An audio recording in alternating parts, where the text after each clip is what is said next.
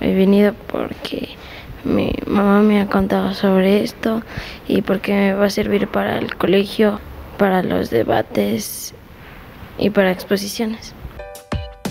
La Casa de la Cultura Ecuatoriana desarrolla desde el pasado lunes el curso denominado Formación de Oradores 2019, un espacio que permite desarrollar herramientas teórico-prácticas y acercando más al elevado y universal pensamiento humano. El evento se desarrolla los lunes, martes y miércoles de 3 de la tarde a 18 horas hasta el próximo 28 de julio. El curso de formación de oradores está dirigido a niños, jóvenes y adultos y les permite acercar a los estudiantes a lo más elevado del pensamiento humano. Conversamos con el coordinador de los talleres, Miguel Ángel Pasaca, nos explica más sobre los temas, contenido y desarrollo de estos talleres.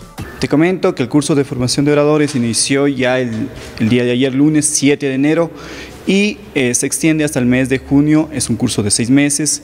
y la Casa de la Cultura junto al Foro de Oradores hace la invitación a la ciudadanía para que formen parte de estos talleres. Los contenidos de estos talleres están estructurados en algunos elementos fundamentales que contiene teoría de la oratoria, estructuración y redacción de discursos y técnicas de expresión oral y corporal que son elementos fundamentales para que puedan trabajar en la cuestión de los discursos y cómo puedan expresarse frente al público. Todavía está, hay cursos disponibles para niños y niños jóvenes y adultos y se pueden acercar eh, previo al taller de oratoria en los horarios de lunes, martes y miércoles de 3 a 4 de la tarde niños, de 4 a 5 jóvenes y de 5 a 6 para adultos.